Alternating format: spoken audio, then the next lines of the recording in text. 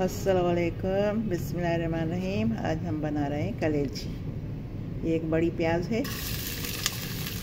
Oil मैंने पहले डाल दिया था।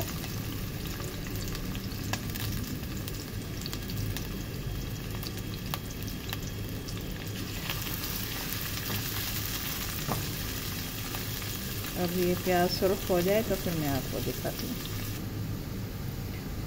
अब प्याज सुर्ख हो गई है। कलेजी। डेढ़ का कलेजी मटन करी इसको मैं अब भूनूँगी।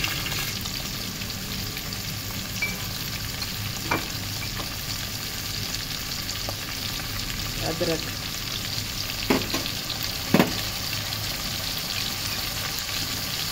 लहसुन। अब हम इसको भूनते जाएँगे।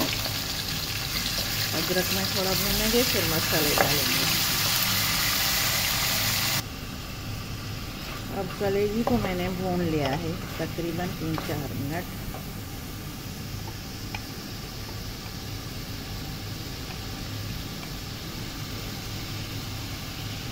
नमक।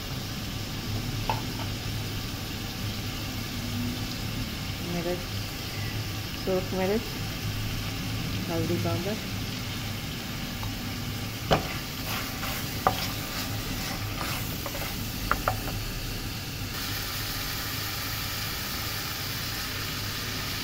दो टमाटर कलेजी भुन गई है अब। टमाटर में से थोड़ा भूनेंगे, टमाटर गल जाए। अब इसमें टमाटर बिल्कुल गल गया है। कलेजी अब पकने को आ गई है, बस। भून से तैयार हो जाती है। थोड़ा थोड़ा पानी का छींटा दो। तो भूनने में कलेजी तैयार हो जाती है।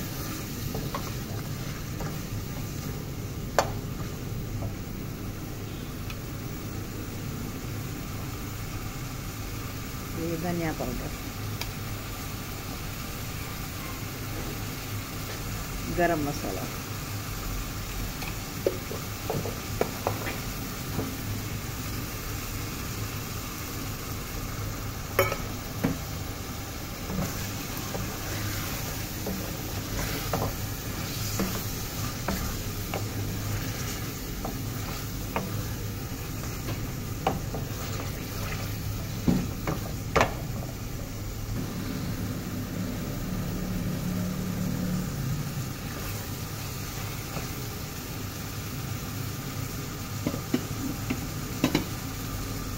बस पानी मैंने नहीं डाला ज़्यादा, बस भुनी हुई रखेंगे। पानी बिल्कुल कम होगा। अब तैयार। आँच इसके अब मैं बंद कर देती हूँ। कलेजी तैयार हो गई। आपको हमारी रेसिपी पसंद आए तो लाइक शेयर सब्सक्राइब ज़रूर कीजिएगा। बहुत अच्छी बनी है। आप ऐसी बनाइएगा, आपको ज़रूर पसंद आएगी।